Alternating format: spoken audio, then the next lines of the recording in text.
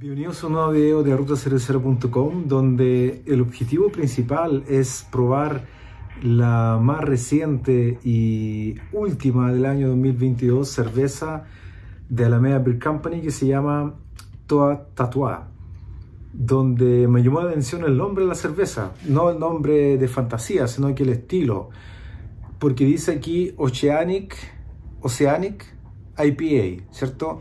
Es decir, esta es una IPA de Oceanía. Y curiosamente, hace muy poco también se lanzó otra cerveza con un nombre muy parecido, que es una Pilsener o Pils eh, de Oceanía, que es, esta cerveza colaborativa del Fucking Project junto con la cervecería Grid. Y ahí dice Oceanic Pils, Oceanic Pils, ¿cierto? Y además tengo aquí una la más reciente también cerveza hasta pronto que se llama It Must Be Love. Dice New Zealand Pills. Así que bueno, básicamente llegué entonces a la información de que se trata de alguna cerveza con lúpulos que antiguamente, bueno, uno le llamaba lúpulo del Nuevo Mundo, pero acá específicamente son lúpulos ya sea de Nueva Zelanda o de Australia, ¿cierto? Que es como la, la región ahí de Oceanía. Están aquí ordenadas por intensidad, 4,9, 5,9 y 7,3. Así que bueno, comencemos con la primera que vendría siendo la... Bueno, de hecho la cerveza se llama Amor Azul y me recuerda el logotipo de esta cerveza, algo me recuerda, no sé si será, mm, bueno ahí aparecen, es bien diferente el, el diseño porque aparecen aquí unos yo me imagino que estos son los personajes de la cervecería. Esto me parece que es como el, uno de los personajes que, que, que es The Grid y este es el Fucking Project. Así que bueno, aquí también lo otro curioso, esta cerveza, voy a leer aquí lo que dice. Aquí dice lúpulo Pacífica y Galaxy. No lo mencionaba en, la, en el post de, de, Instagram, que es lo que finalmente todos usan actualmente, ¿cierto? En este caso la cervecería al lanzar esta nueva cerveza aparece ahí en Instagram. Entonces esto tiene lúpulo Pacífica y Galaxy. Pero estar interesante probar esos lúpulos. Y el, el Ivo, ahí el fucking project como siempre jugando ahí con, con los números de los números y todo eso. Aquí dice Ivo Playa, es decir, es un Ivo que está muy refrescante, muy ideal, digamos, para esta temperatura alta que tenemos actualmente aquí en, en Chile. Vamos al tiro entonces con esta primera cerveza.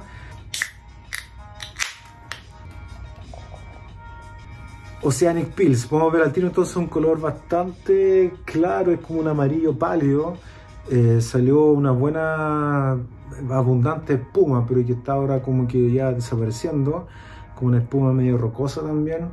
No es como la típica espuma sea un poquito más densa. esto también me indica que en realidad esta cerveza no va a tener mucho cuerpo, va a ser de un cuerpo bastante ligero. Y no puedo, no, como aquí no estamos comparando las tres cervezas, sino que estamos aprovechando de degustar las tres cervezas que lo que tienen en común en este caso vendría siendo los lúpulos. Voy al tiro entonces con el, aroma del, de esta Oceanic Pils, que es una cerveza muy ligera, así por lo menos se, se promociona. Aquí pueden ver el color, ¿cierto?, de la cerveza eh, ese turbio que está ahí claramente por el dry hopping que tiene la, cerveza que se le hizo aquí para que quedara más lúpula aún, ¿cierto? Un aroma. Sí, y el aroma que tiene es como principalmente este típico perfil del, del lúpulo bien frutal, tiene que ahí un poquito, un poco ahí sea como a uva blanca, eh, algo también ahí de, de mango probablemente. Eh, no sé si cuál, no sé si Galaxy es de Australia y Pacífica me parece que es de Nueva Zelanda. Me parece esa es como el, la diferencia entre, entre ambos. Pero están súper, súper así como mm, restringido el lúpulo. El, por lo menos el lúpulo en aroma, aunque sea, aunque tenga este perfil frutal, igual está como bastante, bastante piola el lúpulo. O sea, no está eh, demasiado fuerte, digamos, en la presencia del lúpulo. Está ahí como bien ahí eh, leve, por así decirlo. Voy al tiro aquí al, sabor. Sí, está súper interesante porque mm, En sabor se, está bastante presente el lúpulo, tiene como este perfil frutal, dulce, como entre, ya mencioné, ¿cierto? Entre uva blanca, algo quizás como ahí de, de mango podría ser, pero muy muy ligero, todo súper ligero digamos en, en aroma y también en sabor. Eh, obviamente esta cerveza está hecha para tomarla así en, grandes cantidades porque eh, tiene poco alcohol, es súper refrescante, ligera. Bueno, ahí, ahora salió la espuma un poquito más. Eh, ahora tiene un poquito más de espuma, un poco más densa. Yo no sé si a esta altura uno podría hacer como cierta diferencia entre los lúpulos de por ejemplo, no sé, los super lúpulos ¿cierto? americanos, por ejemplo, no sé, como Mosaic, Citra, o estos lúpulos que son como un poquito más, no sé si, bueno, el Galaxy igual tiene su tiempo, eh, Pacífica no, no, no, me sonaba de antes, no sé si uno puede, podría hacer a esta altura alguna diferencia entre estos lúpulos y otros lúpulos, o sea, para mí igual son todos muy, muy parecidos, yo creo que es probable que a lo mejor en el mismo proceso de elaboración, o mejor dicho, yo creo que en el producto final puede que no se note mucho, aunque ahí quizás habría que hacer, quizás hacer una comparación, eh, hacer un versus, no sé, por la misma cerveza hecha con varios lúpulos, no sé, por gringo versus de Oceanía, por así decirlo, ¿cierto? Y ahí ver qué onda. Pero yo creo que la diferencia va como más por el lado de la producción de la cerveza. Porque yo creo que los lúpulos de Oceanía, yo creo que deberían ser un poquito más, más baratos que los lúpulos gringos. Es algo que a mí me, me, tinca, no sé. Esa es como la, impresión que yo tengo. Vamos con la siguiente, que es esta um, New Zealand Pills, que para mí es como casi lo mismo que la Oceanic Pills, ¿cierto? Simplemente que no le pusieron el nombre Oceanic Pills pero también es una cerveza muy ligera. La cerveza base es una Pilsener o Pils y tiene 5.9 grados de alcohol. Esta tiene eh, además adición de jugo de Sauvignon Blanc. Entonces aquí, ahí está, hasta pronto aquí con su con su diseño bien característico y su ahí está cierto la, la cerveza yo creo que le agregaron este jugo de Sauvignon Blanco, o sea, en, teoría esto calificaría como una Grey Pale. Ahí sí, ahí se abrió. Algo pasó ahí con la...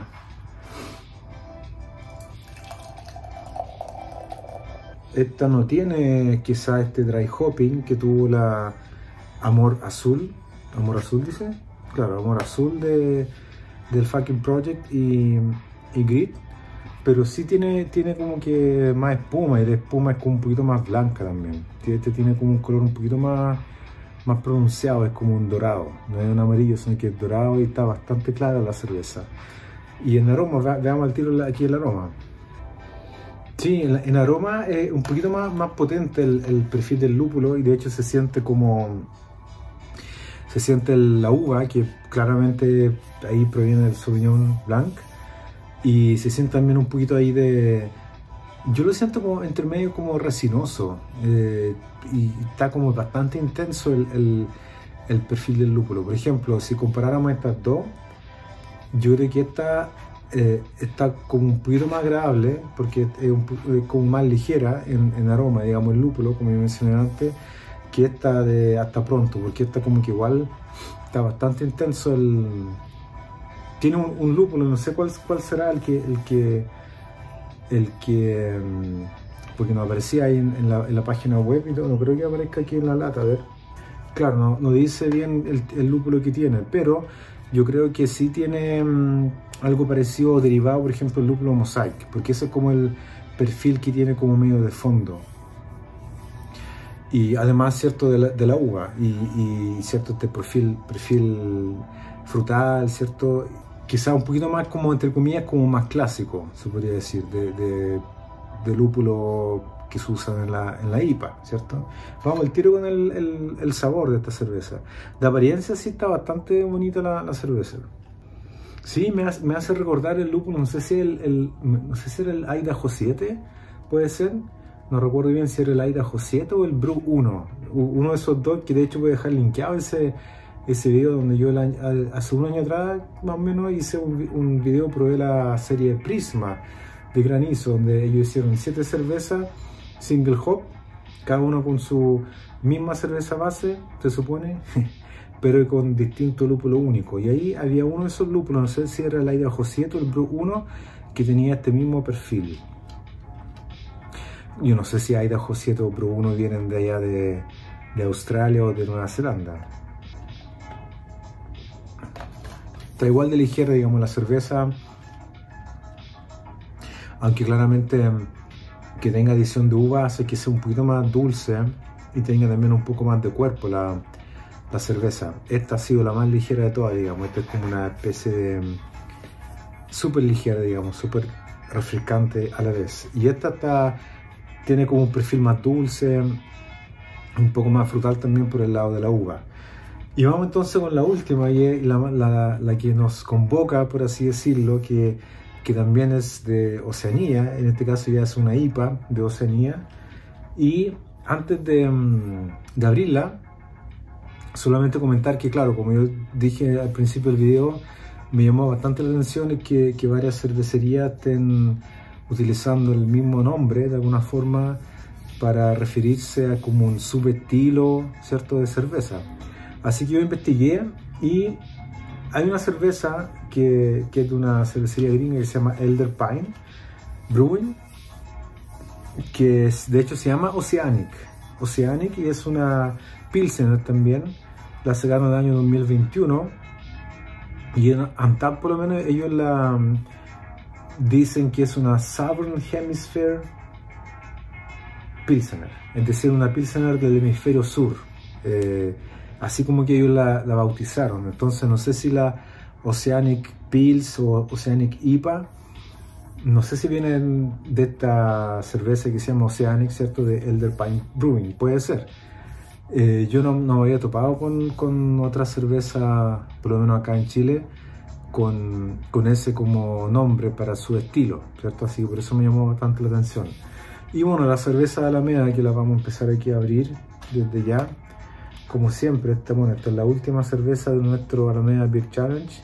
Se llama Toa Tatua y tiene dos versiones en su diseño, que no sé en realidad por qué lo han hecho, pero está la, la, la, versión, este creo que es la versión en negativo, porque está esta misma pero con los colores al revés, que es como la versión en blanco, por así decirlo, y esta es como la versión en negativo. Eh, claro, y aquí podemos ver, aparecen todas tatuadas, ¿cierto? Es como el fondo tatuajes. Eso es como que lo representa la, la cerveza. Ahora yo no sé si los tatuajes en sí representan son los que utilizan, por ejemplo, los, aborígenes australianos. Puede ser, no sé. Ahí quizá algún experto en tatuajes nos podría indicar, pero aquí claramente aparecen eh, tatuajes como bastante particulares. Y aquí, bueno, esta cerveza, esta Oceanic IPA, tiene um, lúpulos Wakatu, Nelson, Big Secret y Muteca, que son de Nueva Zelanda y de, de Australia también. Así que démosle con esta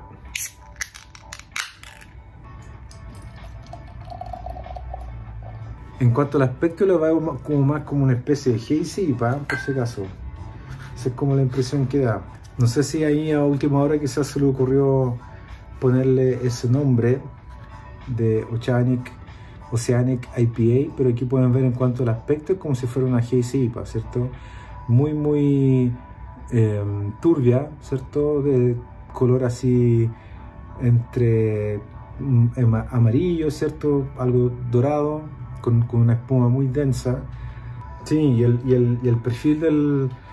Eh, eh, tiene igual está, interesante. Yo le siento como entre mango, papaya, durano también.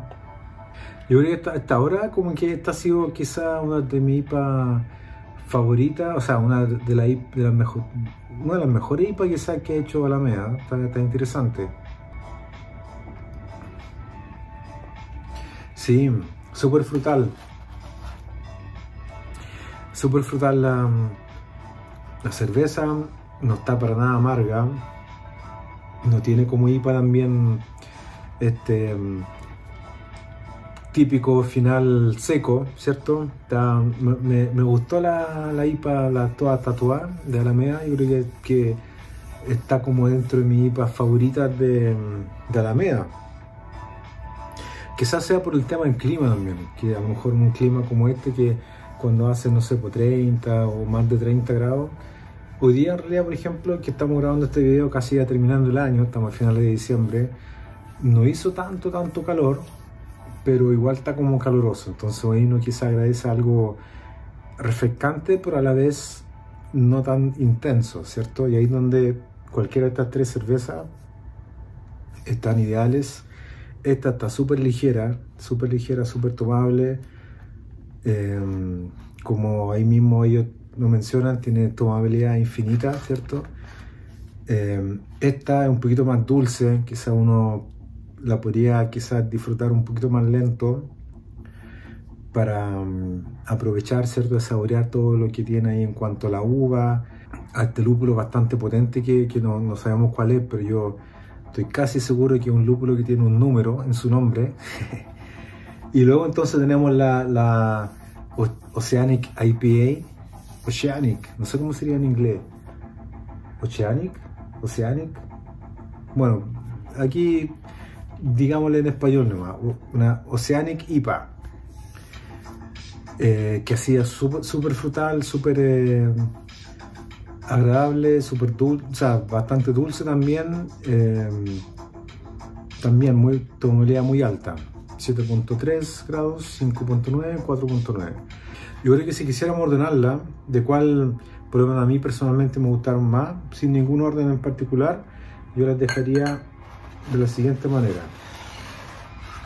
Yo creo que dejaría en primer lugar la Oceanic IPA de, de Alameda.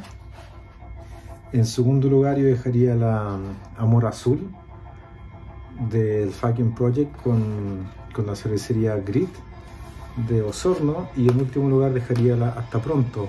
¿Y, el, ¿Y por qué sería ese de mi ranking? Porque mm, encuentro que mm, la toda tatuada está súper está súper frutal, está súper eh, refrescante a la vez, tiene muy buena tomabilidad eh,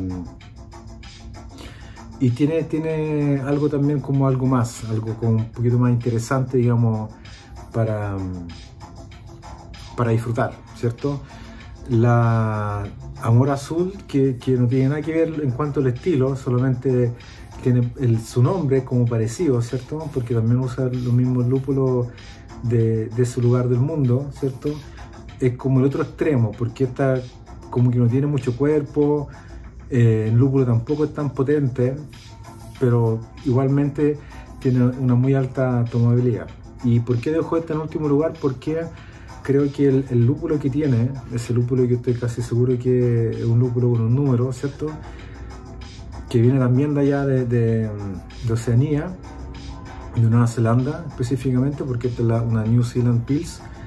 Yo creo que tiene, no sé si está bien la, por lo menos para mí, esta combinación de, la uva con este tipo de lúpulo, porque como que ambos se potencian y de por sí, por ejemplo, el, el Sauvignon Black, Blanc ya es como, es, como bastante potente en cuanto a, la uva y más encima este otro lúpulo que es súper eh, potente también, entonces como que queda una cerveza que sí, sea un poquito menos tomable que las otras dos, por así decirlo. Y por eso quizás quedarían en este lugar, pero como ya mencioné, no estamos comprándola entre ellas como estilo ni nada de eso, simplemente que hicimos este como mini especial de um, cerveza con lúpulos de Oceanía, ¿cierto? Y espero que les haya gustado el video. Aprovechan de suscribirse, ponerle like. Así que nos vemos en un próximo video de rutacervecera.com.